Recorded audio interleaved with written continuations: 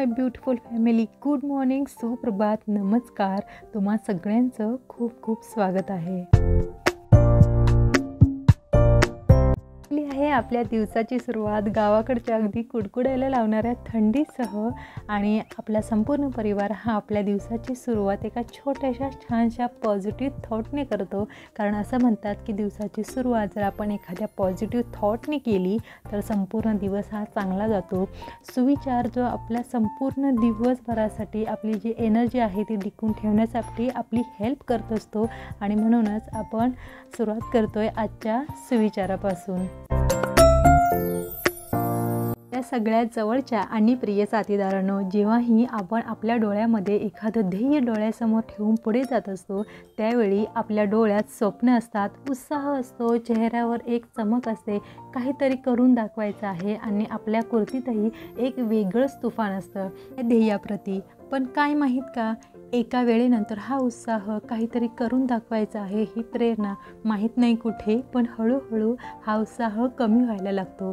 माहीत नाही का पण आपण त्या प्रकारे मेहनत नाही करत ज्या प्रकारे पण लढायला पाहिजे. आपण स्वतःला दिलेल्या त्या वचनापासून दूर व्हायला लागतो जे आपल्याला यशाजवळ नेणारे असतात.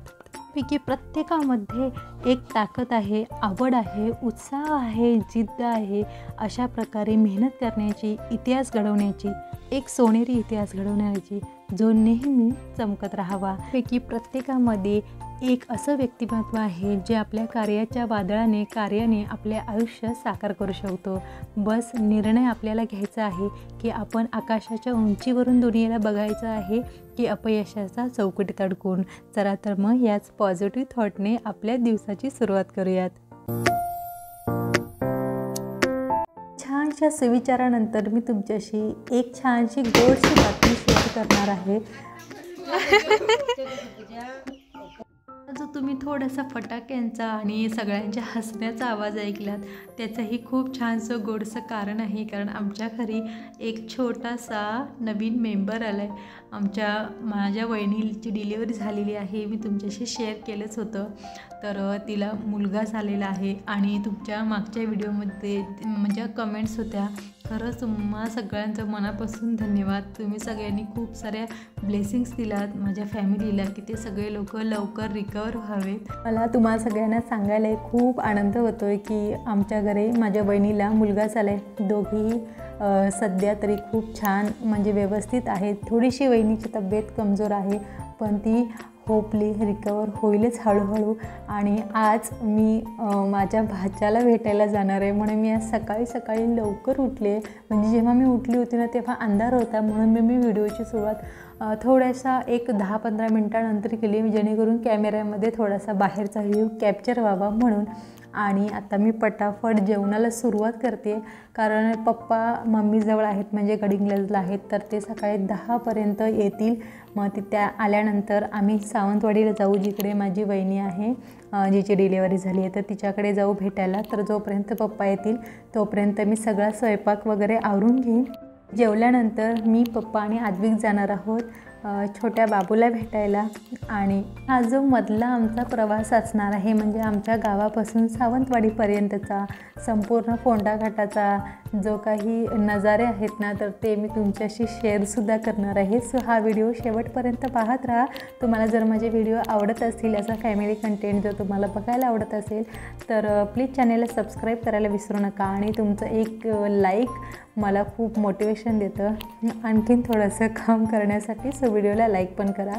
तर मी केली आहे जेवणाला सुरुवात. सकाळी उठल्यानंतर मी कुकर लावला आहे चहा ठेवला आहे आणि त्यानंतर मी इकडे पाठीमागच्या साईडला ना मम्मीने चूल बनवली आहे म्हणजे इकडे आतमध्ये किचनमध्ये धूळ झाला ना की मग ते संपूर्ण काळं होतं. मग किचनच्या थोडंसं आतमध्ये पाठीमागच्या साईडला इकडे म्हणजे पूर्वी जेव्हा आमच्या म्हशी वगैरे होत्या ना आता म्हशी वगैरे अजिबात नाही आहेत तर तिथे ना मम्मीने एक चूल घातली आणि इथून ना वरती जायला शिड्या आहेत आणि वरती अजून दोन रूम केलेले आहेत. याचं काम अजून थोडंफार शिल्लक आहे करायचं पण ते सध्या पेंडिंगच राहिले तर बीन्स ना मी रात्री कट करून ठेवल्या होत्या. तर बीन्सची भाजी बनवते तर म्हटलं थंडी पण आहे. तर म्हटलं चुलीवरच बसू नये ना. थोडंसं म्हणजे शे शेकायलासुद्धा होईल आणि भाजीची पण तयारी होईल. सो बीन्स भाजून करते मी. खूप छान होते भाजी भाजलेल्या बीन्सची फरसबीची. कधी अशी केली नसेल ना तर भाजून करून बघा. म्हणजे हलके हलके जे स्पॉट्स येतात ना काळे तर तसे येईपर्यंत भाजायचं. थोडंसं तेल घालून भाजलं ना की बीन्स खूप छान भासतात चवीला पण खूप मस्त होतात. आणि चुलीवरती थोडेसे का असं ना प्रोसिजर जरी जेवणाची केली ना आपण तरी चव खूप चांगली येते.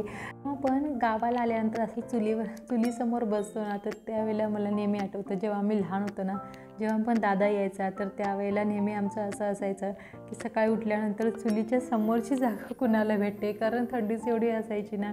तर चुलीच्या समोर बसतं त्याला खूप चांगल्या प्रकारे ऊब लागते. म्हणून मग ती जागा कोण आडत? ह्याच्यावरती भांडणं व्हायची. सकाळी उठल्या उठल्या भांडणाची सुरुवात ही चुलीसमोर बसल्यापासूनच असायची. तर मी आता ना हे जेव्हा शेंगा भाजत होती ना तेव्हा तेच मुमेंट मला आठवत होते. भाजीसाठी टॉमॅटो नव्हता तर मम्मीने टॉमॅटोची झाडं लावली तर त्याचे टॉमॅटो चांग पिकायला आलेत. म्हणजे एकदम पण लालबुंद झालेले नाहीत पण थोडेसे लालसर झालेत. आता आपण चालवून घेऊ कारण घरात टॉमॅटो नाहीच आहे. तर चार एक टॉमॅटो मला भेटले आणि त्याच्यामध्ये आपलं आजचं काम आज म्हणजे आजचं आणि उद्याचं दोन दिवसाचं काम होऊन जाईल. हा जो व्हिडिओ ना तो सॅटरडेचा आहे. तर मला ना वेळच नव्हता भेटला सॅटर्डेपासून व्हिडिओ एडिट करायला. म्हणजे एडिट करून ठेवलं होता तर काही काही राहायचंच. म्हणजे व्हॉईस ओवर करायचं राहायचा तर ह्याच्यामध्येच माझा खूप टाईमपास झाला. त्यामुळे हा व्हिडिओ खूप उशिरा येतो. पण हा व्हिडिओ आहे मागच्या सॅटर्डेचा. तर मी भाजीची तयारी करते. फटाफट भाजीला फोडणी देते आणि त्यानंतर मग आपण जेवण वगैरे झाल्यानंतर मग जाऊ सावंतवाडीला.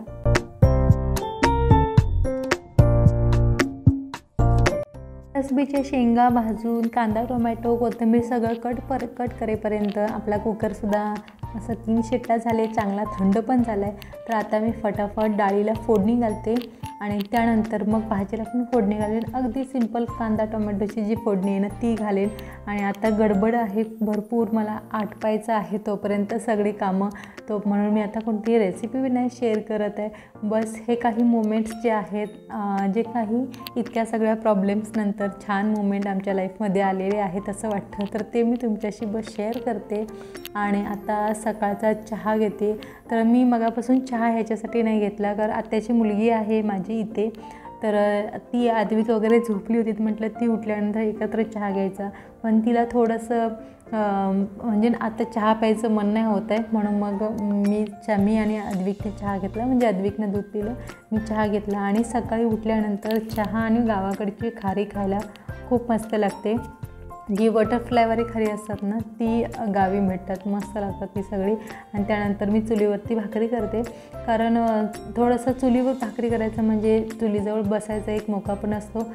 जोपर्यंत ना चुलीवर भाकरी होत नाही तोपर्यंत गावी आल्याचं जे फील असतं ना ते होत नाही. चुलीवरच्या भाकरींचा जो एक गोडवा असतो ना तो खूप मस्त असतो. तर मी फटाफट इकडे भाकरी पण करून घेते. पप्पा येण्याच्या अगोदर आहे ना सगळं जेवण झालं पाहिजे. तर ह्या गडबडीमध्ये आम्ही दोघी पण आहोत. तर ही माझी आत्याची मुलगी तर तिला मी ठेवून घेतली उठली. म्हटलं थोडीशी हेल्प होईल. अदवीकडे वगैरे लक्ष द्यायला मला थोडंसं इझी जाईल ना म्हणून. तर जेवण वगैरे केल्यानंतर आम्ही निघालो आहे सावंतवाडीला आमच्या छोट्याशा पिल्लूला भेटायला. पासून थोडं जसं आपण पुढे जातो ना तसं वातावरणामध्ये थंडावा पण येतो. आणि जे शेतीचा प्रकार जर तुम्ही म्हटलात ना तर आमच्या गावापासून एक दोन गावं पुढे सोडली ना की त्यानंतर जे ऊस शेतीचा प्रकार आहे ना तो कोकणामध्ये जसं आपण जाऊ तस तसं कमी होत जातो. आणि आता इथे जे आपण बघतो आहे ना तर ते आहे आंबोली. तर हे आंबोलीचं ब म्हणजे एरिया ना इथून स्टार्ट होतो आणि इथून थोडंसं पुढे गेलं की आंबोलीचा बस स्टॉप येतं. आणि आंबोलीमध्ये ना बऱ्यापैकी आता खूप छान पर्यटन म्हणजे पर्यटकांसाठी सोय आहे. आणि इथे आपण आलेलो आहोत आता घाटावरती जो फोंडा घाट आहे ना त्याच्यावरती.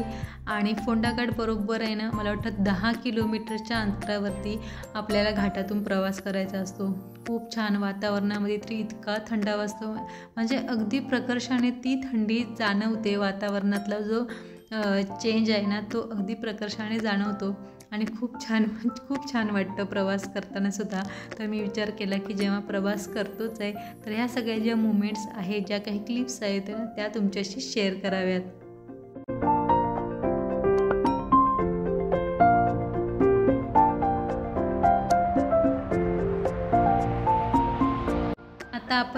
आंबोलीच्या धबधब्याजवळ आणि आंबोलीच्या धबधब्याला आता प म्हणजे पावसाळ्यासारखं पाणी नाही आहे पण पर्यटक अजूनही आहेत. इथे तुम्ही बघू शकता खूप साऱ्या गाड्या पार्क केलेल्या आहेत आणि पर्यटकांची गर्दी अजूनही तिथे तशीच आहे. पाव पाणी धबधब्याचं थोडंसं कमी आहे पण पर्यटक भरपूर आहेत. आणि पर्यटन स्थळांना पर्यटकांशिवाय शोभा नाही हो ना? तर आंबोलीच्या घाटामधून पुढे आल्यानंतर इथे ना रस्त्याला तुम्हाला खूप सारे माकड दिसतील कारण जे लोक म्हणजे येतात ना जे पर्यटक ते त्यांनासुद्धा ते खायला देतात. आणि ती अगदी माणसळलेली असतात ना इतकी. म्हणजे ते घाबरत नाहीत. माणसं वगैरे जवळ आली तर लांब नाही जात. ते अगदी माणसळलेली असतात. त्यामुळे त्यांची अशी काही भीती नाही वाटत.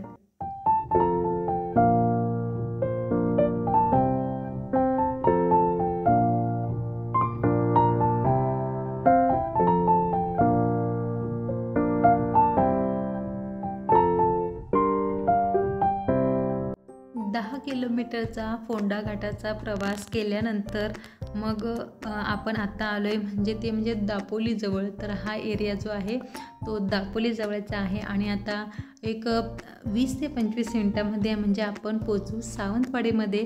आणि सावंतवाडी हे खूप खूप म्हणजे खूप सुंदर असं शहर आहे. ही सावंतवाडी सगळ्यात जास्त प्रसिद्ध आहे ती म्हणजे लाकडाच्या खेळण्यांसाठी लाकडाच्या विविध प्रकारची खेळणी खूप प्रकारच्या वस्तू ज्या आपण नेहमी आपल्या लाईफमध्ये यूज करत असतो. आणि त्याचबरोबर ज्या काही शोभेच्या वस्तू वगैरे आहेत खूप छान मिळतात. आणि ती जी दुकानं आहेत ना ती पाहिलात ना तर असं वाटत नाही की त्या दुकानामधून बाहेर यावं.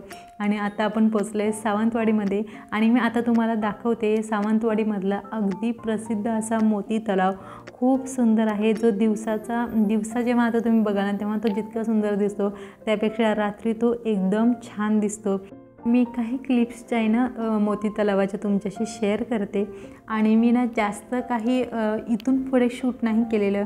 कारण आम्ही हॉस्पिटलमध्ये जात होतो. आणि तिथे हॉस्पिटलमध्ये म्हणजे माझी वहिनी सोडून अजून बरेचसे पेशंट होते. त्यांची प्रायव्हसी आणि बाळही लहान आहे. म्हणून मी बाकी काही आत्ता तुमच्याशी शेअर नाही करत आहे. बस हा व्हिडिओ मी इथेपर्यंतच घेते. आणि बाकी तुम्ही बस हा छानसा नजारा बघा. सावंतवाडीच्या मोती तलावचा. जर तुमच्यापैकी कोणी आले असतील ना इकडे तर मला नक्की कमेंट करून सांगा. आणि कोणी नसतील आले तर नक्की एक दिवस या भेट द्या. तुम्हाला खूप आवडेल.